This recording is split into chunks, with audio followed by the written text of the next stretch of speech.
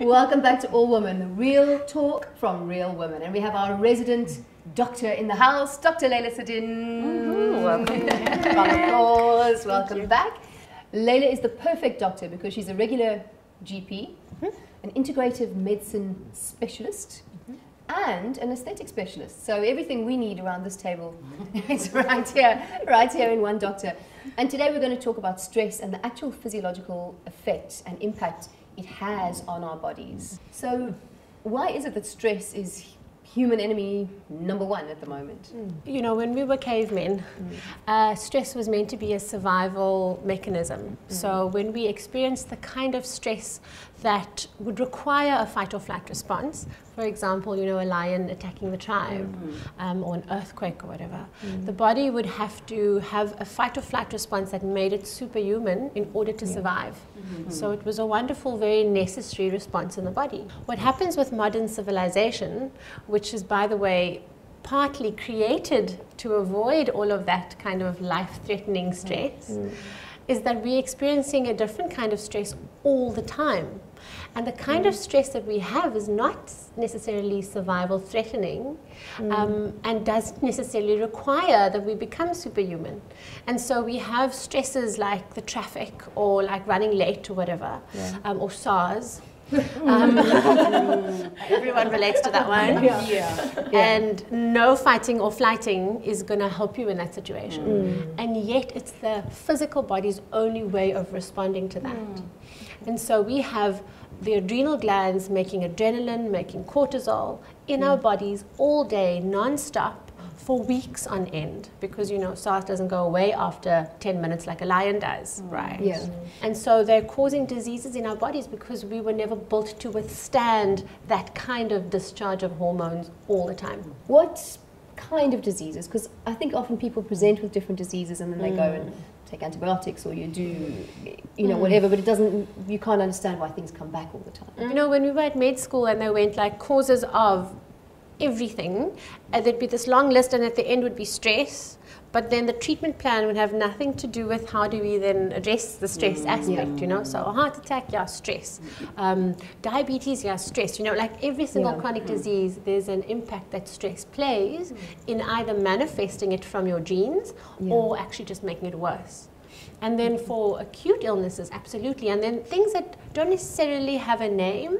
Mm. So um, symptoms that manifest all the time, things like you know, picking up weight. Mm. So yeah. closely related to stress hormones. Things like dropping your immune system, mm. losing your libido. Mm. There yeah. an absolutely direct correlation between stress all the time, that big sign. No. Is something you'd like to share? Later, later. I'll ask questions. Mm, I hope you remember later. Um, because, yeah, so stress, brain fog is another one, you know, when you can't yeah. think straight and you can't mm-hmm. remember what you were going to say, you know, all of those things. Yeah. And then, of course, the, the big thing that everyone is, is fighting every day, which is burnout. Yeah. yeah. Burnout, yeah. yeah. I mean, it sounds like stress is able to deplete the body of its life essence, really. Oh, I'm so glad you said that. That's exactly what it's doing because when you are creating a fight or flight response, yeah. the, the message to the brain is forget everything else. Mm. So take every resource that you can possibly pull in your body and direct it towards your fight or flight response. Yeah. And so yes, it is exactly draining your vitality because yeah. everything you could have been using for your libido, for your well-being, for your mm. healing, you're now using for stress. You know, a lot of jobs these days yeah. thrive on stress. It's almost like they take it as a, a match of pride. I'm mm. so stressed out. I work so hard, and mm. um, it's interesting mm. that you say it takes your life force. Mm. But people, if people looked at it a bit more, like actually, stress is not that cool. It's yeah. not something you should be proud of. And it's not something -hmm. you should be bragging about. It's something yeah. we should be stepping away. From. It's so true. I mean, when I deal with men, and I mean, most often men, of course, there are yeah. women who are very manly as well. Mm. And I say to them, we need to address your stress. They become very defensive about mm. it. Firstly, there's this thing of, don't tell me I'm stressed because that means I'm not coping. Yeah. You know, like it's like um, it's a weakness.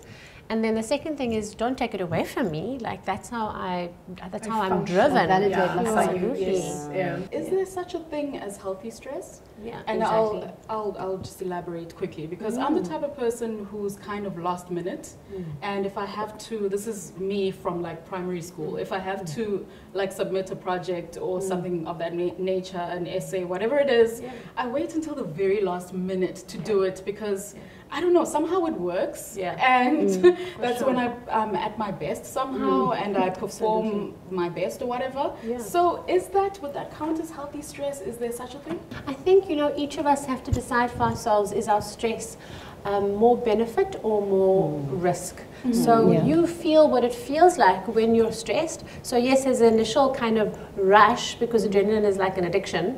You know, mm-hmm. lots of people are addicted to adrenaline. Yeah. You get that rush, and it, it makes you do whatever you need to do. And then there's a crash. Mm-hmm. There's always a crash. And for each of us, we have to decide: does that weigh up for me? Yeah. And then, of course, when we assess stress and when we treat stress integratively or naturally, mm. we are not taking away your ability to stress. We're just limiting the effects of stress on your physical body and on your mental body. So it's not it's not as though you have to give that up in order to be healthy. Okay. Yeah. Yeah. Leila, let's talk about the stress test. First time I went to Leila, she said, uh, I think you're stressed. And I'm- I was unemployed at the time. I was like, I don't even have a job. How can I be stressed?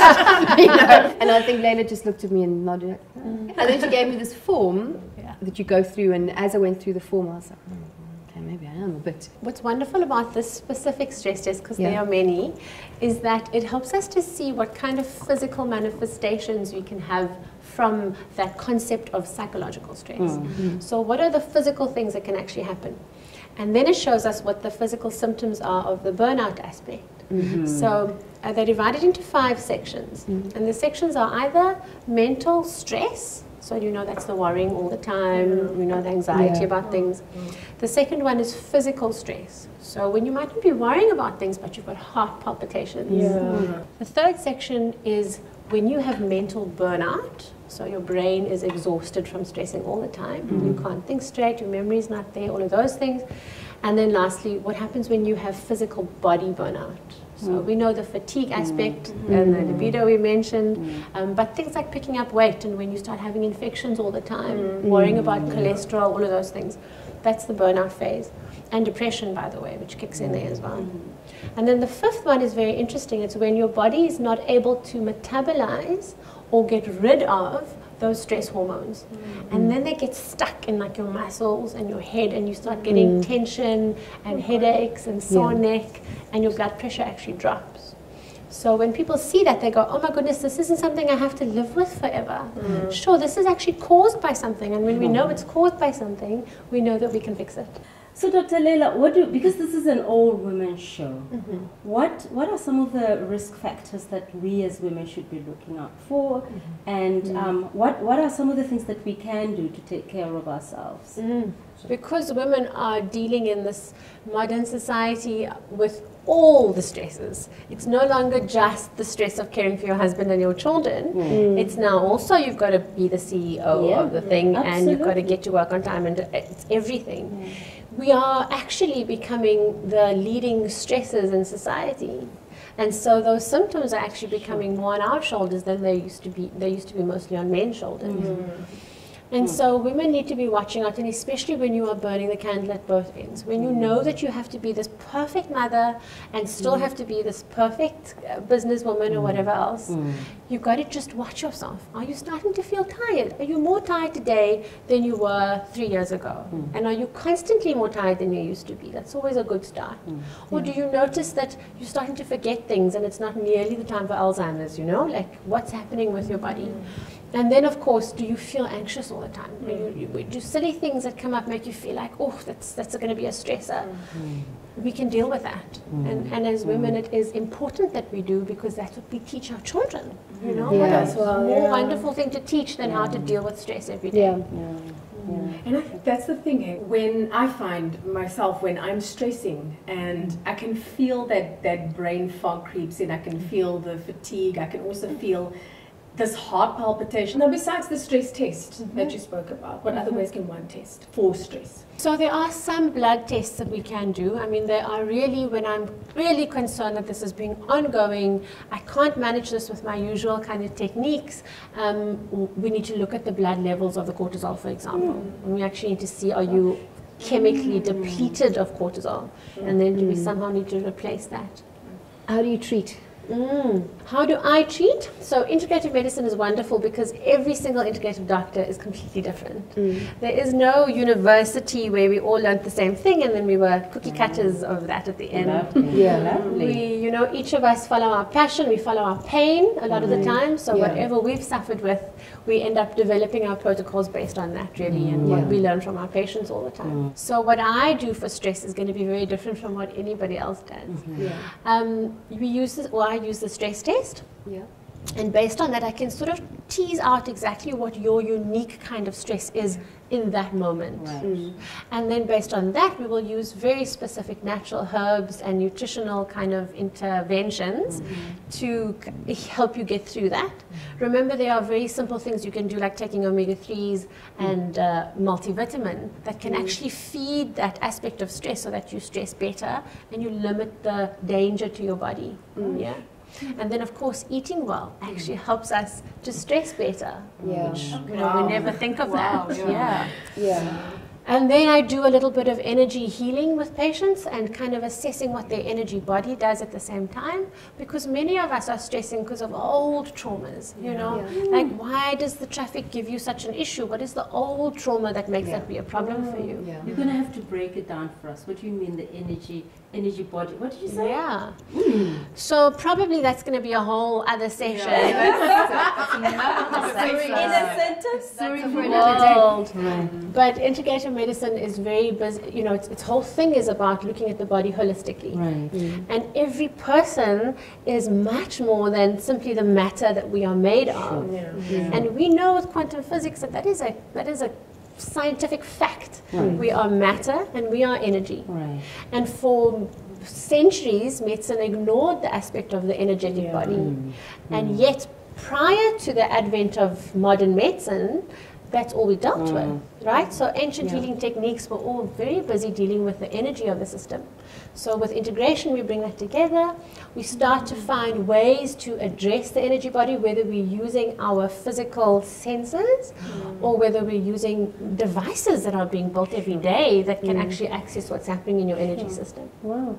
I love that because it feels like it is necessarily responsive to each individual and their own uniqueness Absolutely. and, and what it is that they've experienced in the past instead of just the one, one, one size fits all type of. Here, take an antibiotic. Yeah, here, take this particular. Yeah, Yeah. Exactly. Or like the stress medicine. How can you have a Yeah. stress medicine that addresses Yeah. all of your trauma and where that comes from? It's Yeah. crazy. I mean, in that way, it feels, I mean, for me, it feels like I am seen as a patient and I'm part of, of the healing process. I can, I can have, I have some agency in my own healing rather than giving all the power to the doctor and saying, oh. okay, you deal with me. Mm-hmm. But I can Yeah. actually be an active participant in my own healing. Hattie, you are giving me goosebumps.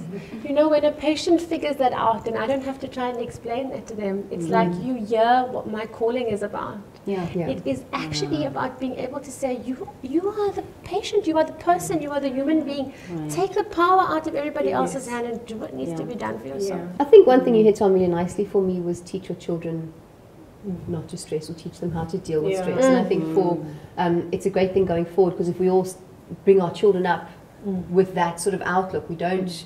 You know, deal with your stress, deal with your stuff. Don't be stressed. I think going forward, we have a generation that's going to be healthier and less susceptible to these. You know, Fee, one of the big things about that is uh, we teach our kids through our lives. Yes. Mm. Most of the stuff we learn from our parents, we learn through what we saw, not through what they said to Indeed. Yeah, us. So manage your own stress, mm. and your kids will learn from that. Mm. great. Leila, thanks so much. We will see you in the next episode because you're here. Yay. You are one of the team.